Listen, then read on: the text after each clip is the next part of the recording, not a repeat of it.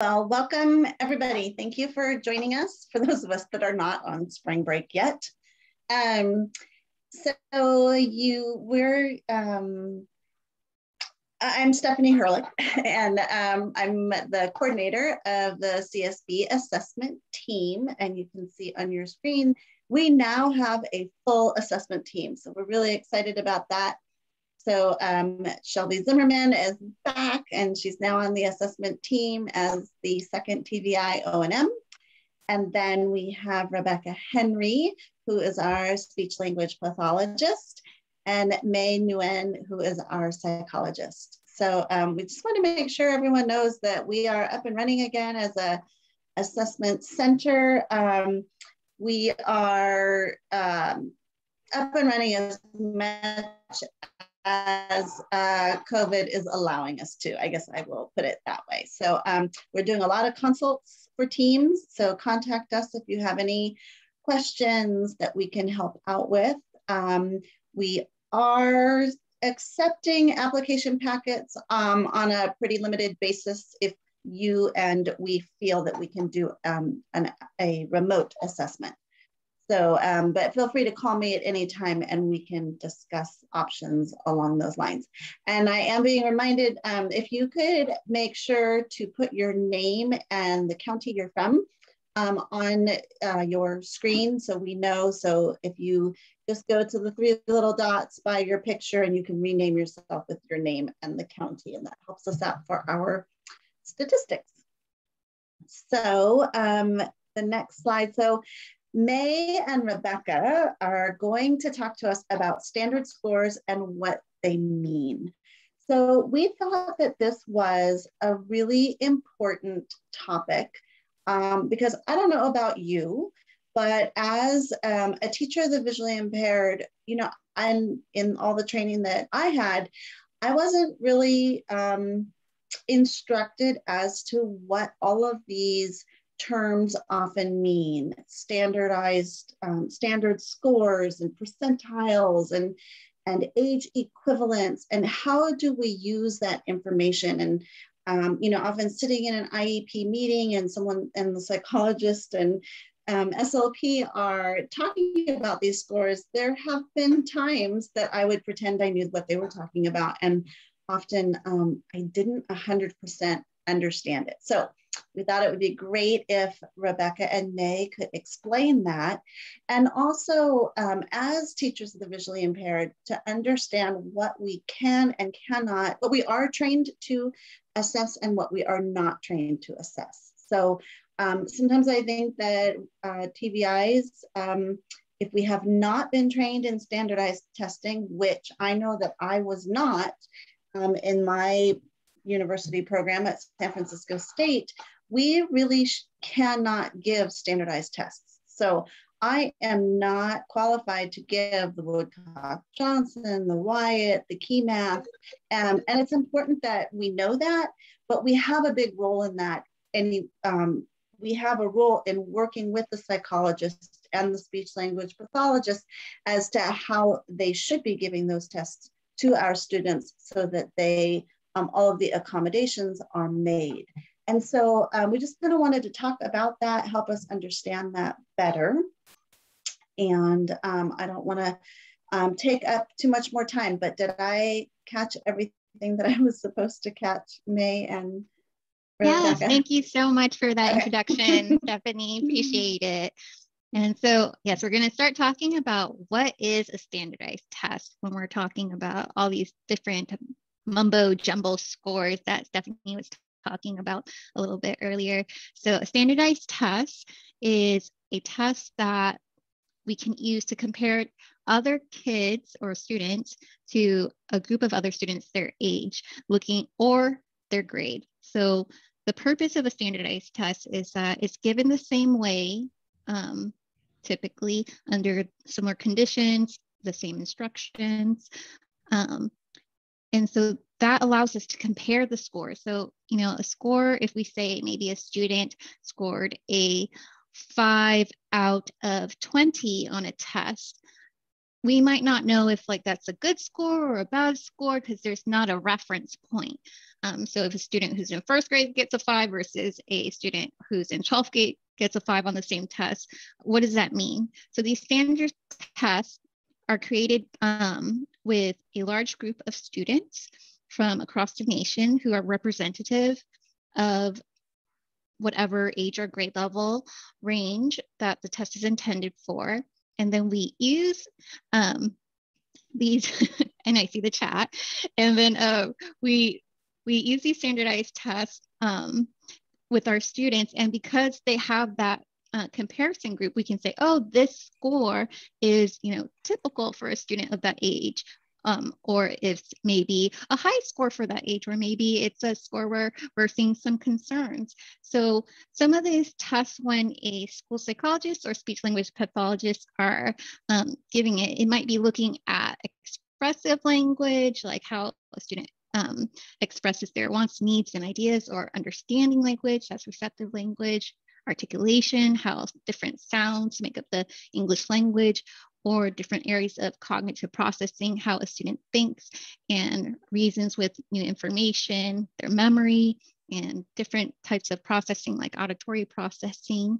And so the question that came in the chat is, um, the CSB have an updated list of psych assessments. I have one from 2009 and was told um, that it was several editions off LLL. So yes, we are working on it and you're gonna get a handout at um, the end of this presentation, but also want to give a little teaser for our CTE BVI. We are doing another assessment tools presentation at um, CTE BVI, and we'll be having another valuable handout then. Um, but so times where you might see this standardized test come up is maybe during an initial or triennial assessment of a student.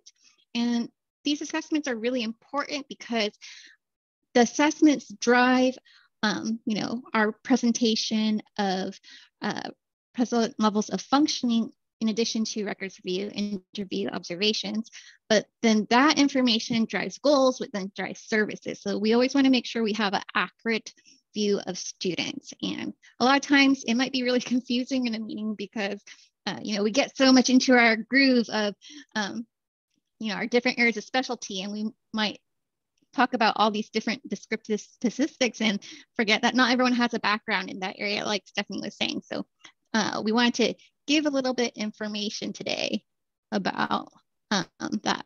But first, we wanted to get some interaction for you guys because we know that learning um, sticks with you better if you are being actively involved. So true or false, and it's not going to pop up in a poll. We just want you to give us, if you have your camera on, thumbs up for true, thumbs down for false, or you can just pop it in the chat or do a reaction button of a thumbs up or thumbs down, true or false. Test scores always show what a student knows and can do true or false. And I'll let you guys kind of simmer on that. And I see, see. thumbs down, Cindy, thank you. And I see an X, thank you. Appreciate you guys' reaction. So yeah, and yeah, you can also throw it in the chat if your camera's off. We got two no's, three, there's another false. Okay. I thank you for participating. So this is drum roll false. so thank you, Cindy and Ellen, some other people who had given us a signal. Yes, tests are not always going to be showing everything a student knows and can do. It's a snapshot in time, and there's many factors um, beyond innate or learned abilities that impact the student's performance. So if a student slept well the night before, is hungry, uh, their level of fatigue or attention, their mood, their rapport with the examiner. Rapport is so important. Um, and there might be different environmental distractors. So maybe if you're on campus, the AC comes on and it's really, really loud because the AC is in an old building. Or maybe there's different cultural linguistic factors that might be impacting the scores. And uh, and yes, very good point, Brian. Thank you for joining us. And Administrators and parents um, need to be aware of this since these numbers, sometimes I feel um, when you're looking at a score report, you might say like, oh, this tells me exactly what a student knows. And I hope that, you know, whatever assessment professional you're going to will provide the information that you know it's just one snapshot of information and we hope that when you're looking at any kind of report you also take into consideration or i hope the evaluator took into consideration that we never make a determination based on only one test or one score and you know when you're looking at something like the WJ, you might read the manual or look at it and say, oh, this is so easy to give. The instructions are very clear. However, um, you know, anyone can read the manual, but it takes a lot of training to appropriately uh, administer and interpret the scores. And we want to see if the administration of the test is valid. Does it provide a helpful representation of the student's abilities or are other factors impacting it so that the scores should not be reported? And so again, like I mentioned a little bit earlier, we want to ensure ecological validity. We want to make sure that the scores make sense in the context of everything else that we know about the student. So when we do a records review, interview with the students' educators and parents, and observations in different settings, such as a social setting and in an academic setting, in an individual learning situation or in a group learning situation, are we seeing that the different patterns that we're seeing in our test scores align with what we're seeing from these other points of data?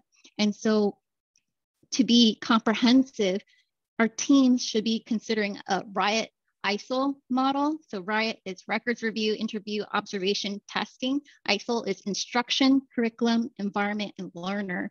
And so I'm going to turn it over now to Rebecka to talk about how do we determine if a test is a good quote unquote test to use. Yes, so not all tests are created equal. So in general, hopefully the report you're reading has considered all of these points, but we just wanted to mention some things that your that us as an SLP, a psych, and anyone else giving a standardized test consider before choosing one.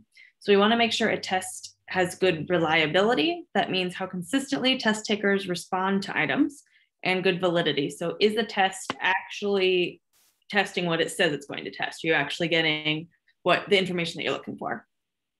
Um, we want to make sure that the norm group, which is the group of people that took the test and the test was then standardized on that group of people, that is the norm group. We want to make sure that they are representative of the population. Was this normed on, you know, 50 middle class white children? Was this form or was this normed on a diverse set of students? So score interpretation difficulties are going to arise when groups are not in that norm group. And unsurprisingly, in general, children with visual impairment are not going to be in those norm groups. Um, and then the other thing we're going to look at is sensitivity versus specificity. You will probably never really need to remember these words, but just to keep it in the back of your mind, we're looking at tests that are sensitive enough to identify the disorder and specific enough not to over identify, not to group kids in that don't actually have it. So we're looking for that comfortable ground of it'll pick up the kids without picking up kids who do not have it.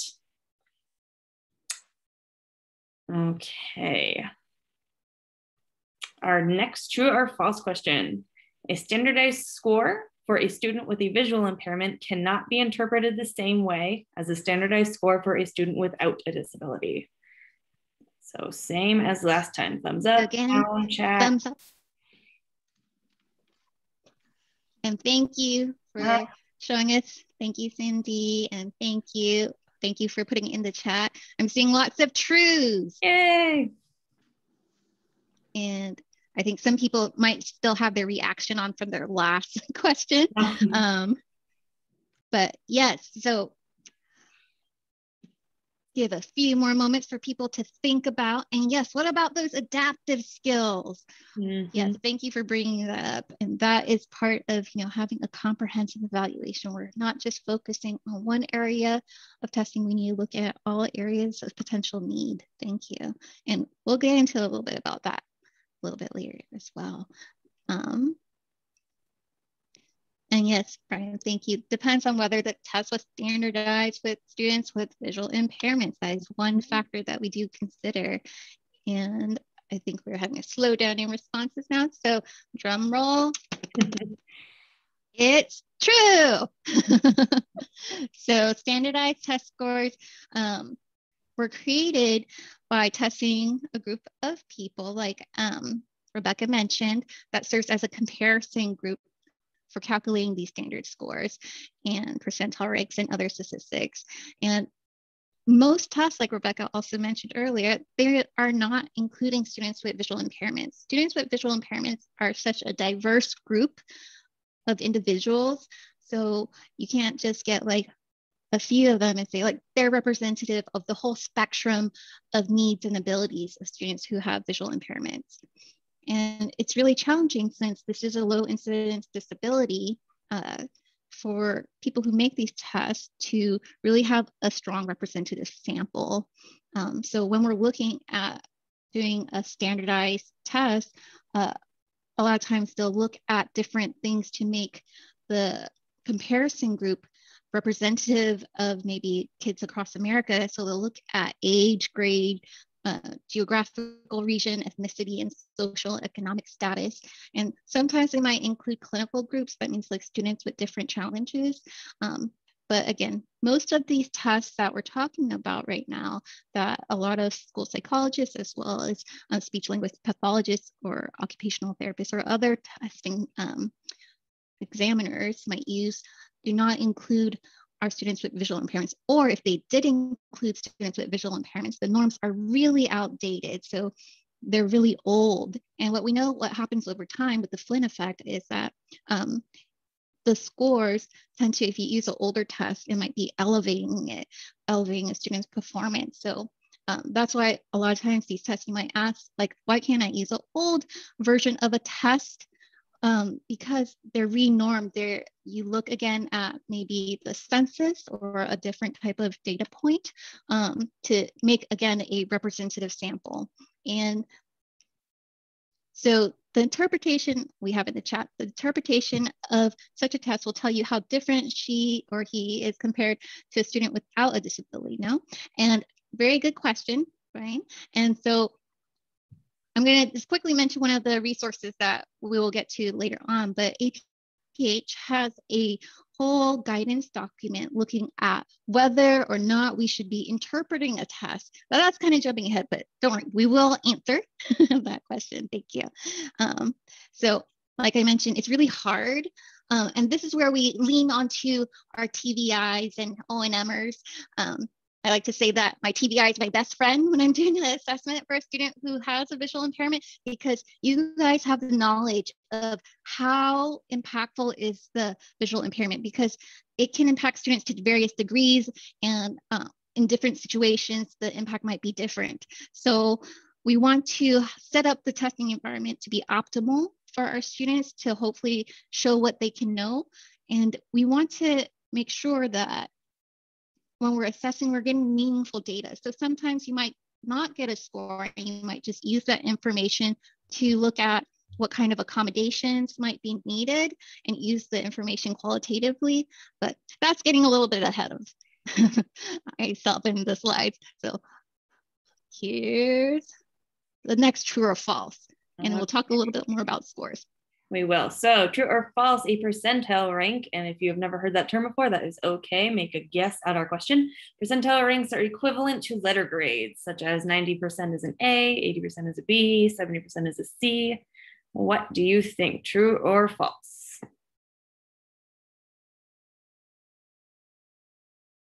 And I'm loving all the activity in the Ooh, chat. Thank you so much for uh, responding nice and yeah, asking all these questions. Got a lot. One, two, three, four, five, six, seven, eight falses. Some thumbs down. All right. Yep. And that is correct. They are not the same thing. We are going to get more into it, but a percentile rank and a percentage score, such as a grade, are not the same. So on our next slide, actually, we're going to dive into what some of these words mean. Uh-oh. Uh-oh. Let's see if we can get the slide to load. Maybe. What's it say? Oh, part of it. Well, we had a lovely image that did not want to load, but that's okay. We'll roll oh. with it. Yeah, shoot. I hope our other ones do. Okay.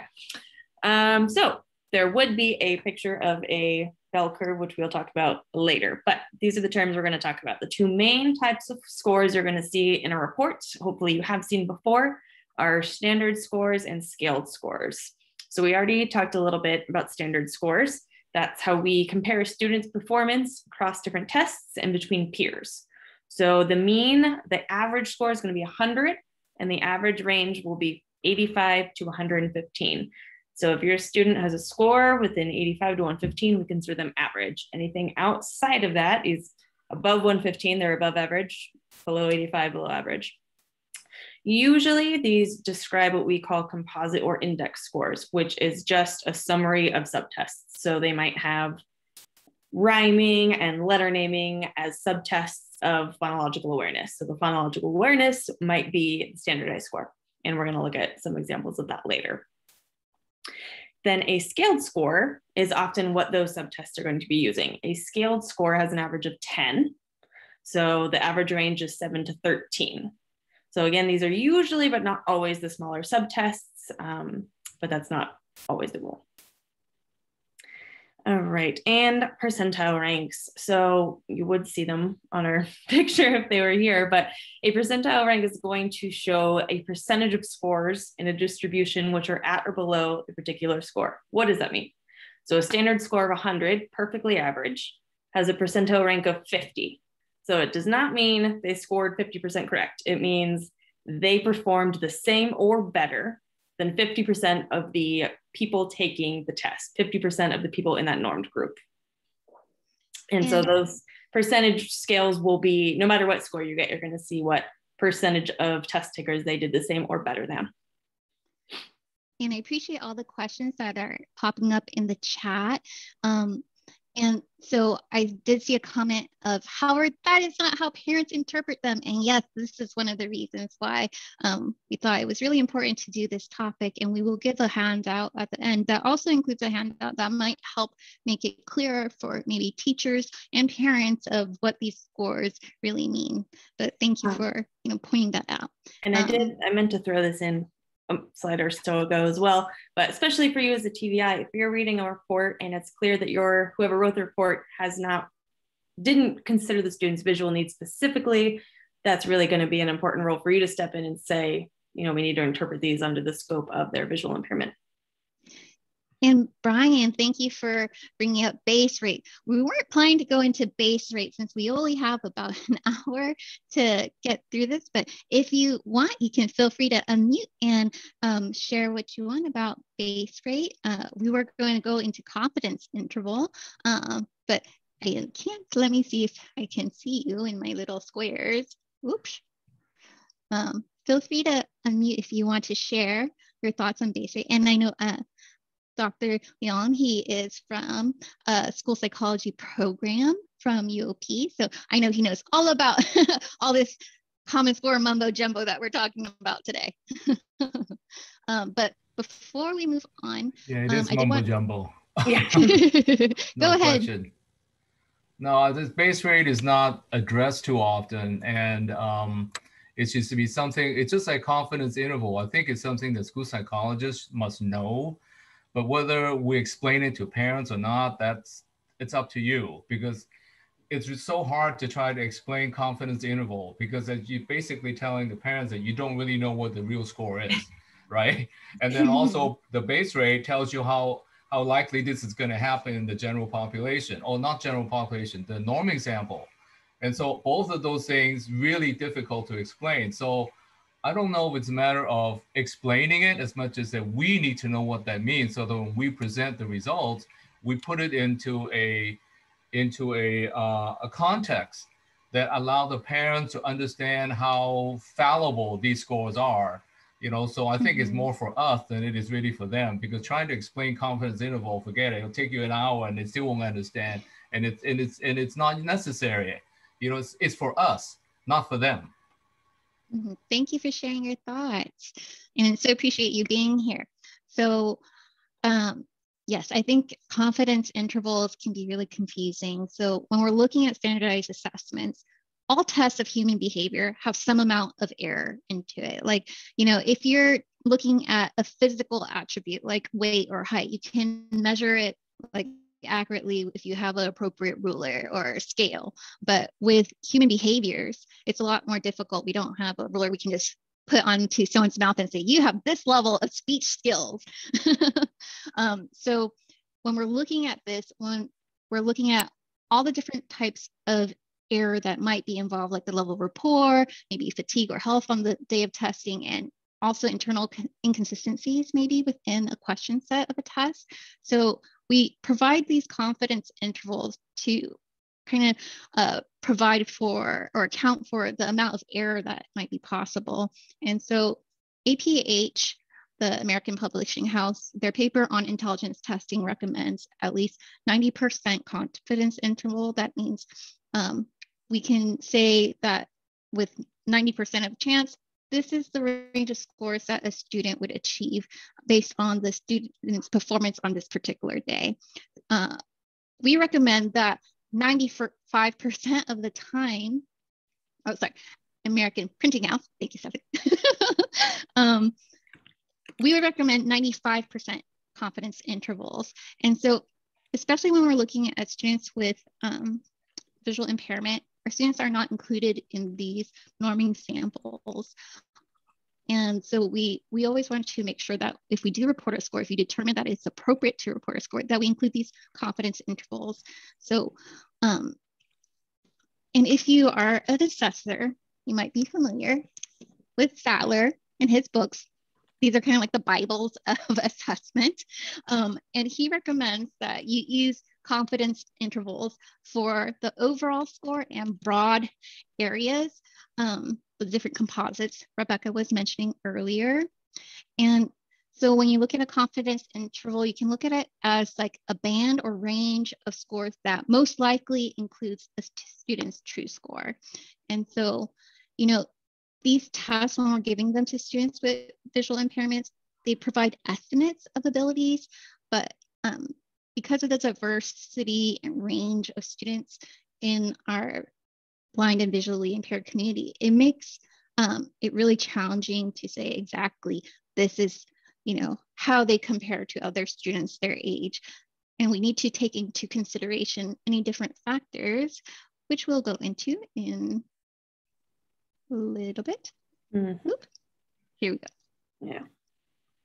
Oh, and we did have a comment in the chat about um, age equivalent. And um, yes, thank you, Patricia. No one wants to hear their 10 year old is functioning at a three month level after years of intervention and school instruction. And we actually recommend that you do not use age or grade equivalents um, when you're writing reports. Different practitioners have different views. Um, and we'll provide a handout from the National Association of School Psychologists that also warns about the challenges of using age or grade equivalent scores. A lot of times people might look at these scores and think, oh, you are saying that my student is performing like a five-year-old or maybe performing like a student who is in the first grade. Um, but that's not what these scores represent. These are the scores that if you're looking at the average raw score or the number of items answered correctly on a test, um, what was the average age for that raw score number or that I, number of items answered correctly at a different age or different grade. So an example would be if Sunny performed on a test of reading comprehension um, and is said to have an age equivalent of six years. That means that Sunny answered the same number of items correctly as most six-year-old kids on this particular subtest. It doesn't mean that uh, she's performing as well or functioning as a six-year-old. So it's important to make decisions and interpretations about functioning using standard scores and not aging grade equivalents. But that being said, for our students, these standard tests, these standardized tests might not best capture all the meaningful information of how a student is performing. So even though today we're focusing on scores, usually I myself, I like to use informal measures to get more information about how a student is functioning. like using checklists, things like the Oregon. Um, and we can talk a little bit more about that later as well. Mm-hmm. But yeah, let's take a few more steps. I just wanna I wanna highlight what May said though, is both of us are not fans of the age and grade equivalents. They're very misleading to parents. And if you want to know more about why, please reach out to us. We'll be happy to tell you all of our opinions on them. okay, so we are going to do a case study of a student May and I created. So basically his name is Leo. We're pretending you just got his triennial report. So his SLP administered the comprehensive test of phonological processing. This is also a test a lot of psychs give, so it could come from either professional if you do actually see this test. Okay, right, go ahead, May. So, so a bunch of numbers where I'm just gonna go through and kind of dig apart what you're looking at if you get this report in front of you. So Leo got a composite phonological awareness index score of 67. So we're going to look at all these on a graph in a moment. He got three subtests that made up that composite score, which were elision, a scaled score of five, blending words, a scaled score of six, and phoneme isolation, a scaled score of three. Let's hope our image shows up on our next slide. Yay, okay. All right, so the star is representing his composite score, that's 67. So as you can see, that is quite below average. This specific graph actually shows it as significantly below average.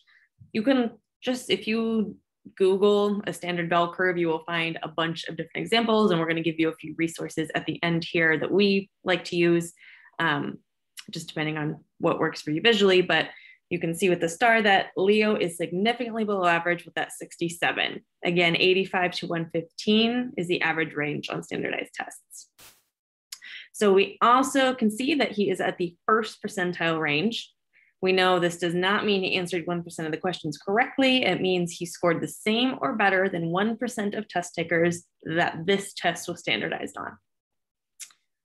Okay, so now we're gonna look at those subtest scores. He got a five, a six, and a three.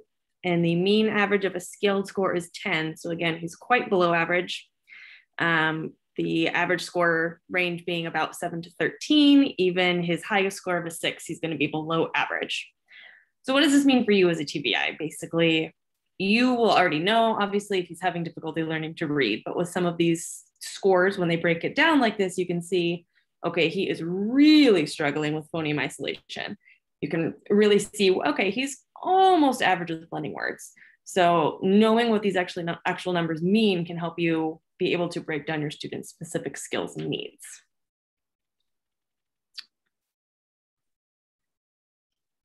All right, so this is one of the resources we have available. I don't, did you want to show it, May, or just, just show it on the slide?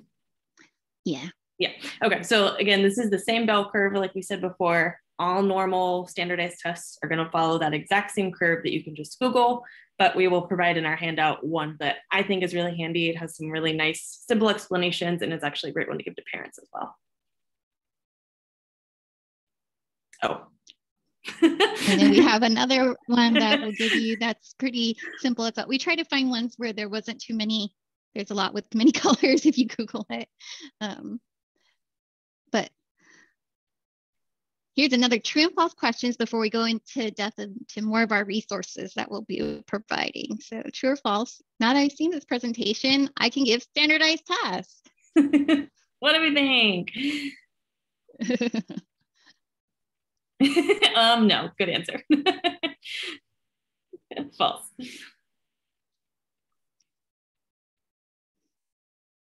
And thank you for participating in our true false questions. We want that to try to keep it lively. absolutely false. Nice job, everyone.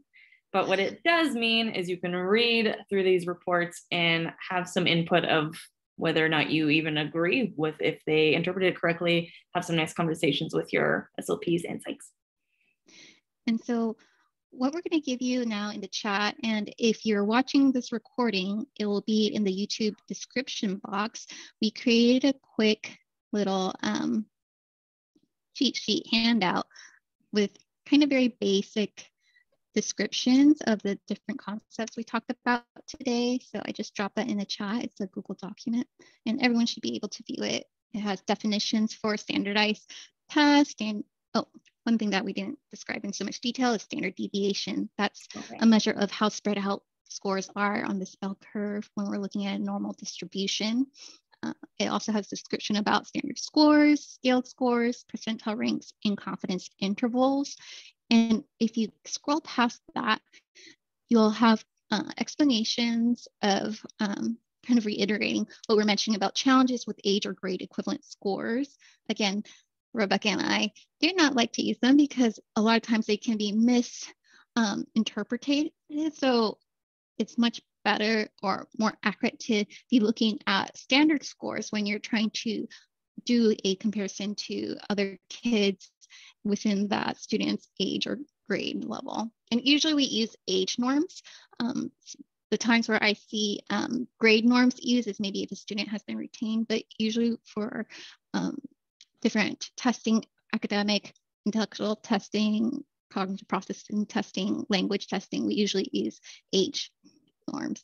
And beyond that, if we keep on scrolling, who should administer these tests? And so sometimes when I'm in different professional development um, webinars, we have so many free ones lately, which is great, I see questions of um, TVIs asking, oh, so would I be giving the WJ or would um, the resource teacher or um, psychologist be giving the WJ?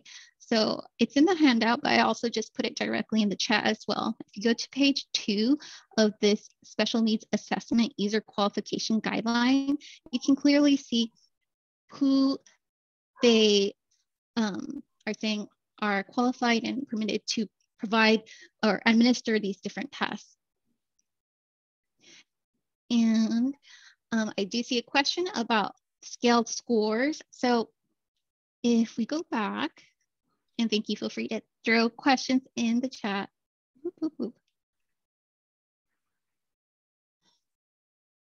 So on this chart, it doesn't have the scale scores on them, but on different charts, you might be able to see it. But if we're looking at between 85 and 115, that's the average range. About 68% of our population fall within this range. So what that means is we expect most students or individuals who are given this test to score within that range. So 85 is equivalent to a scale score of seven and 15 is equivalent to a scale score of 13. Um, so when we were saying with this example for the student uh, where they're having a scaled score of six, that means that scale score of six would be somewhere around here-ish. I don't know if you can see, I'm gonna annotate real quick. Uh, would be somewhere in this area. Um, and so clear that. Oops, sorry. So if we're looking at scores that are below a scale score of seven, that's where we might see some more concerns. Like um, if a student has a lot of sixes in a particular area, we might want to test more in that area or start thinking of what kind of accommodations or supports or services might be needed to address that area of concern. So I hope that makes it clearer on the question about scaled scores, but if it's still confusing, we can go more into it. Um, but basically, if you see scores below a standard score of 85 or a scale score of seven, so the reason why there's these different numbers that might be confusing for some people, we use standard scores, these scores of between um, the average range for these scores are 85 to 115. These are usually used for composites. When we look at all these little mini tests and put them together to look at a broad area of skill, we usually use standard scores. Different tests have different um, ways they represent their scores, but most of the time for um, overall cognitive scores or language scores, they use standard scores. For these little mini tests within a composite, they usually use scale scores. So that's when you get the numbers for the average range between seven and 13. So I hope that, does that make that clear or still? And on the on the scaled score topic too, May and I were having a discussion about this earlier. That seven is something to keep your eye on too. While it's technically within that seven to thirteen, that is the very bottom of average. And so if your student has a bunch of sevens, that's something you really want to go double check on that kid because they're just mm-hmm. barely average. Um, definitely an area you'd want to go double check. Mm-hmm. And let's see in our school district, and I'm reading a question off the chat. Um, in our school district, they are wanting us to assess students with the KTEA, which is an educational assessment used for mild moderate programs. Is this something we can do or should we do? Um, so usually if I have a question about the test, I look at the manual because the manual usually tells you if you're able to, who is the people who are qualified to administer a test. And if you were not trained to provide the test, most likely I would say, no, you should not be giving it. So the WHA, even though, um, and thank you for the comments in the chat. Um, we know our time is wrapping up. There's so much that we can talk about about this topic, but we'll try to wrap it up. Um, and I lost my train of thought. Oh yes, KTEA. So a lot of these tests, like the WJ, if you read the instructions on how to administer it, it might seem pretty simple. Oh, I just start my timer, I show this student this kind of um, page, and then they respond to it, and then I write down their answer. That seems fairly simple, but actually the training for the WJ is, it takes like a whole um, day. I think it was a day or two days. So especially if you're looking at the academic, the achievement portion, the cognitive portion, and the oral language portion, each of those is a whole day of training. So if you haven't received a specific training, I would recommend that you defer to another assessment professional on your school team where you might support them in showing them how it would be appropriate to accommodate.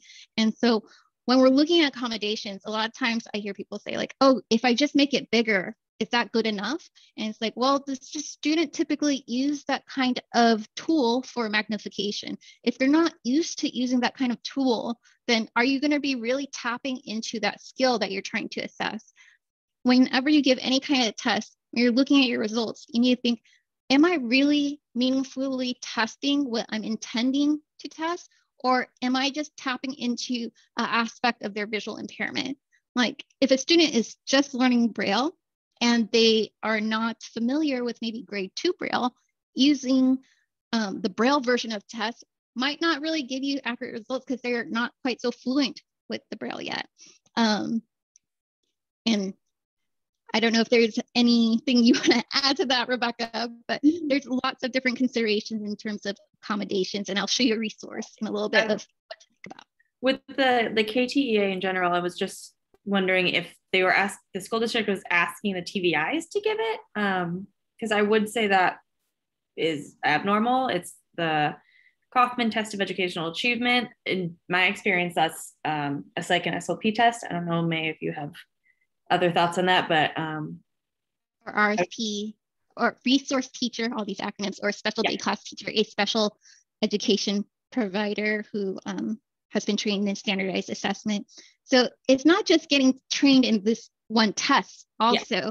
So anyone who is a school psychologist or a resource specialist, special day class teacher, occupational therapist, um, anyone who is it's typical part of the role to be doing these standardized assessments before they even took their classes on how to give particular tests in their area of specialty, they should have taken a statistics class and so there's a lot of training that gets involved just to understand, like this is a very, very brief and very um, kind of broad stroke of what all these statistics mean.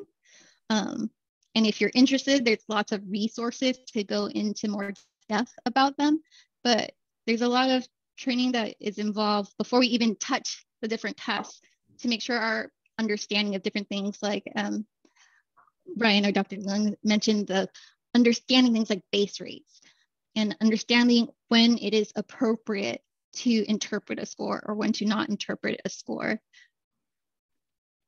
So another resource I'm gonna bring up on the screen right now, and I'm gonna try to make it bigger, is intelligence testing of individuals who are blind or visually impaired. Uh, I believe this came out in 2011. It's a little while ago, but I feel like it's a really great resource for you to consider when you're thinking of supporting your different evaluation team members in their triennial or other types of assessments. So areas that I think might be areas where you get a lot of questions might be adaptations of thinking about what accommodations might affect the concepts that are being tested versus um, they are just providing access. In another area where I feel a lot of school psychologists come to me with questions is when should they interpret scores qualitatively versus quantitatively. So quantitatively means like using the numbers, using the scores versus taking information from the student's performance and using it to inform maybe the accommodations or level of supports needed to get the student to show what they know. Um, and it's not just whether a student has appropriate um, accommodations for light or for magnification or positioning.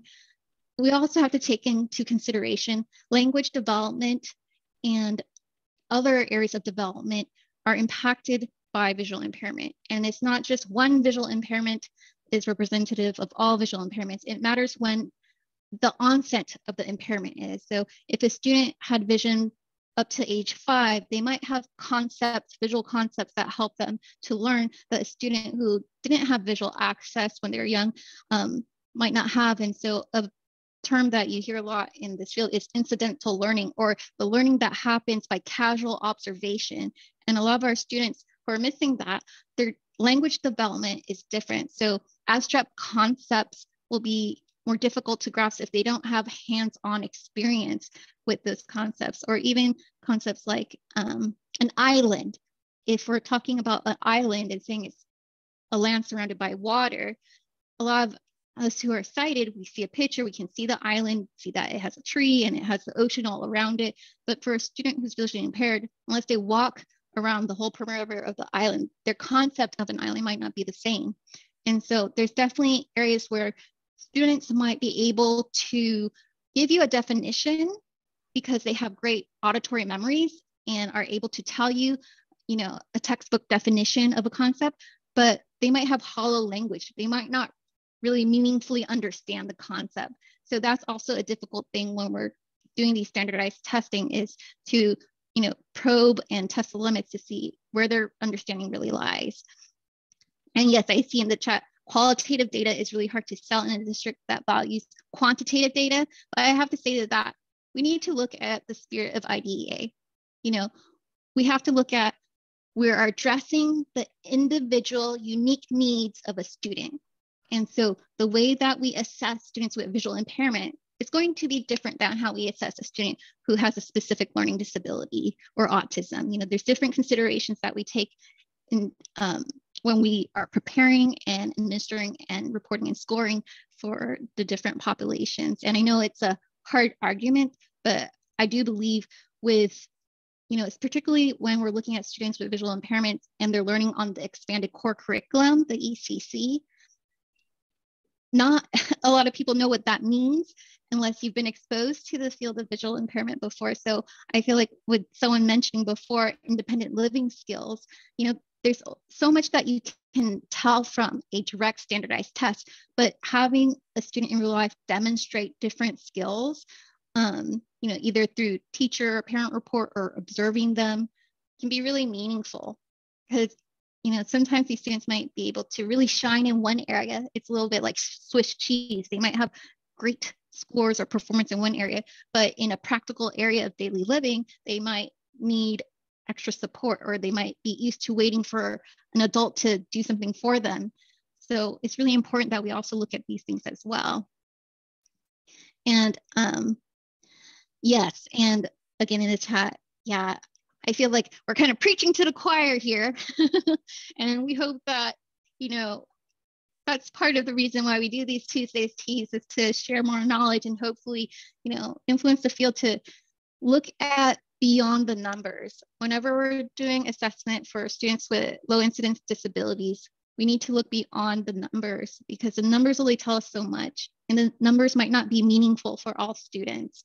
Um, another handout I wanted to make sure we look at, this is the handout from the National Association of School Psychologists. Um, I feel like this provides a little bit more detail than our brief handout, um, but it, it might be helpful for if you are sharing with um, different members of your team, like maybe your county TVI team, um, to help them better understand different scores that we're usually talking about in assessment reports. And it also has this nice chart. So one thing that we didn't mention yet, um, but it's important to know, different test manuals use different test score descriptors.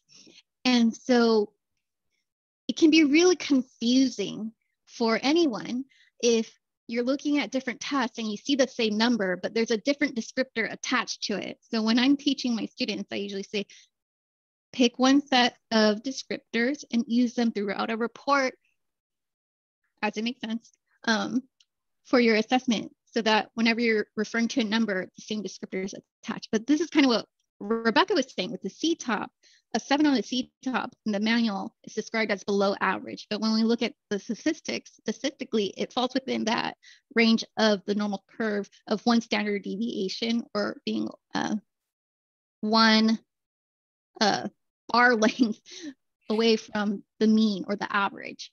And so it can be really confusing. So what I would recommend to any team members is that try to get, if you're writing, especially if you're writing a team report, having everyone you know adapt to one set of descriptors might make it more parent friendly so that it's easier to understand what we're talking about when we're talking about different tests. Um, but yes. I totally feel you patricia but beyond the numbers movement we need to look beyond the numbers. I feel like people can get so stuck on the numbers and you know it is just a snapshot in time and it can change. It like maybe um, the fire alarm went off. We shouldn't have reported that score if the fire alarm went off, but some people still do. And it's like, is that a really meaningful reflection of that student's skill in that area if maybe they got distracted when some sound went off? Um, and another handout I wanted to share out with you guys. We started, so someone asked in the beginning for a list of tests. So I started this little Q&A document and it's going to stay a live document what that means is I will try to update it over time and um, it gives some really brief um, considerations. And I hope that if you are a lot of times school psychologists or your other evaluators will come to you as a TVI and ask, how should I test this student? Um, you can provide and share this document. It's welcome for anyone to click on and view. And I would advise you to try to ask them to read the beginning section before going directly into this chart of different tests. Because uh, I know people will probably just go to the chart and look at, oh, what test can I give? Um, so these are tests that are primarily um, administered auditorily.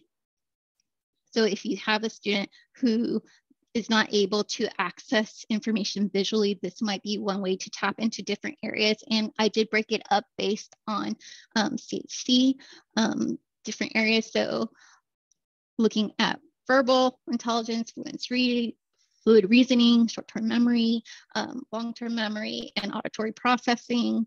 Uh, and some of these tests also overlap with speech language tests. And so I included the age ranges, and for some tests, there's picture items at the beginning. So for example, the KABC-II normative update, um, the auditory only items are for ages seven and up. So um, hopefully this will be a useful reference for uh, your team, but this is not the only way to assess. At the end, I also have um, alternative ways to look at cognition. So for a student who might be um, having more intense needs, you might want to use different things like the Oregon Project or maybe the, the BAME. Even though it's meant for a certain age range, you can still use it as a criterion reference tool to look at what the student is able to do, like how are they able to perform certain skills and note that qualitatively. Um, And there's also some links in our handout that um, go to different uh, guidelines for who can give certain tests. So I pulled up earlier the one from Riverside, which publishes the WJ and the Battelle, but another large publisher is Pearson. And so they also, in the handout we gave, um, provide some different guidelines around qualifications for administering tests. So I don't know if we missed any other questions. I was trying to scroll through to see if there was any other questions that we didn't address yet. And feel free to unmute or a small group if you want to ask or have a comment.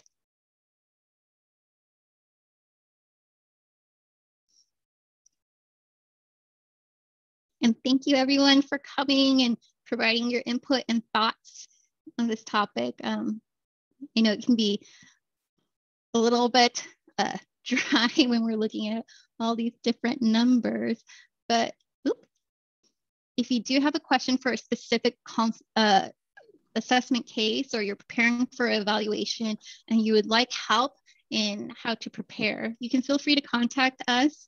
Um, you know, we are the assessment center team for the state of California. So uh, we are here to provide consultation as well as assessment.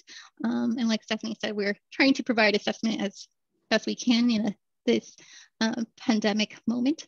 But um, we're doing quite a bit of consultation. So if you have questions, feel free to reach out. And our information is also on the assessment center website page, which is linked in the document. And do we have any questions or comments? Rebecka, did I miss anything? Go ahead. That, that page is so cute right there. I just and just one little tidbit about the assessment center team. We love animals. It's us and our pets. Cute. Thanks, Cindy. Thanks, thanks. It's a lot of information, but it was helpful to to hear it. Not that I understood it all, but I I I can get the overview. and if anything stands out that we were either too jargony on or the handout's not clear, please reach out and we'll do our best to clarify. Yes, like um Brian mentioned earlier, there's a lot more terms and concepts involved with standardized assessment that we didn't dive into today. I know we're already at our time limit. Um, so these are kind of the big terms that we wanted to share out, but there is a lot more involved. So there's lots of resources online and that we can share with you if you want more details. well, thank you very much.